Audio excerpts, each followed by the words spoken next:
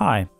RTP is basically a shader system which renders terrain and other objects with uh, high-end shaders. RTP has been imported on Fresh Project. There are some other goodies, but we don't use them now. What we need to remember is that the RTP must be imported into the default location, which is Relief Pack subfolder of assets. And it works using existing terrain objects. Here is one with the four layers, so I drag it into our scene. It has height map generated in World Machine first. This is uh, exactly the same as on example scene. I set here the terrain size, uh, imported the height map, and four layers have been added using uh, Unity's built-in uh, functionality. Yeah, here remember that Unity's tiling is not used in RTP. Actual layer styling is set in RTP settings main. It doesn't matter which textures have been used, because we can replace them later, but we need to remember to add them first, before adding RTP component. Okay, so we added, but that's not all. We need to refresh in settings main. Oh, and that's the moment RTP LOD manager has been added to scene. And this object handles RTP features used. By default shaders are not initialized, so let's do it. For one terrain we will use uh, materials feature and with four layers terrain we need only one pass to be compiled and used. And now the important step. Platform we are working on must be selected. We are on DX11. On Unity 4.5 and higher, simply select them all. And shaders compilation won't take any longer because Unity 4.5 compiles only used one Especially when building projector, remember to recompile shaders adding actual target platforms. For lower Unity version, select the platform you're working on like I do here, it's DX11. And cut holes feature won't be used in our tutorial scene, let's disable it for now. And we can recompile shaders. Please be patient, especially on lower Unity version. And now our terrain is up and running. And in some cases, after shader recompilation, we need to refresh RTP state again. And when RTP object is the first one added to the scene, we need to visit Perlin normal tab, and the Perlin texture is added here by default. And here we see that this will initialize a combined texture used by shaders. Yeah, and these bumps are actually produced by our Perlin normal map. Here seen on grass layer. So uh, now we can add missing textures for our layers. We can drag and drop into slots for every layer. Normal maps, height maps, and this one. Okay and the last layer. And during this process it's good to know what happens in the background because adding and replacing textures in slots here results in combining them in pairs. This texture is made from layers 0 and 1 and this from 2 and 3 we're counting from 0 and here we've got the height maps combined from layers 0 to 3 which are put into RGBA channels respectively, so alpha channel of combined height texture is taken from last layer, fourth counting from 0. You need to remember about keeping texture size of given type uniform, which means that all height textures must be the same size, here they are 256 and the same for normal maps. They all are of the same size. And the same for diffuse texture, which in our case are also 512. We don't need to follow normal map size. Here this is coincidental. What we need is the same size of every texture. RTP will uh, report it to you on a console and uh, can actually resize it. In import settings, Also it can uh, change import type and affect read enable flag, so we need to remember about it. As basically all is prepared now, we can play with coverage using Unity Steering brush and looking from distance we see uh, patterns revealed. It doesn't look good.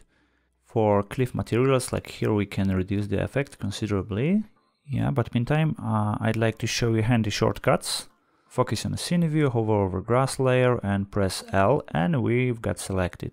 The same for cliffs. I pressed L over cliffs. And let's back into our tiling problem. I'm using Perlin slider here and to get quickly into Perlin settings, we just click this tiny icon. So we are here and we didn't need to go to settings and Perlin by hand and back into uh, our layer settings using L shortcut. We'll discuss Perlin settings later. By now I only reduce it on a grass layer because it doesn't look good when it's overused here. It's too bumpy and let's select cliff layer again and let's play for a moment with UV blend settings. In opposite to main tiling we can change the tiling here independently for each layer. It works multiplicatively and we can also completely replace high frequency detail at distance. These features will be discussed later, so don't adjust it too much, just increase a bit Perlin for cliffs and while zooming with camera, notice that our terrain looks very detailed both close distance and also pretty detailed at far distance. And now let's look at uh, one of the most prominent features in RTP called uh, height blending. So as you see, layers are not simply alpha blended, but uses height maps to blend them. This can be even more obvious with different material like here so let's replace cliff layer with big rocks texture. Height map, normal map. As mentioned before, when replacing textures in layer properties, RTP automatically rebuilds actual combined textures used by shader. And our rocks normals are now combined on RG channels here. Combined textures are used by shader while original ones are used in editor only. So this is how height blending works here.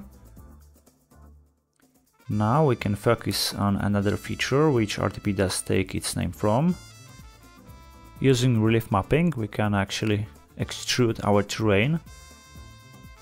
As we see overusing the extrusion value doesn't look good because this is by default parallax mapping which is quite fast to render and in most cases this is enough. If you would like to see real parallax occlusion mapping, POM, you need to enable it first, here in Max LOD. Drop down and recompile shaders. So shaders will be larger, but you also will be able to switch um, between LOD levels runtime. And let's recompile, we need to do it after uh, any change made to LOD manager features. And after recompilation, uh, POM with self-shadowing will work. So we can see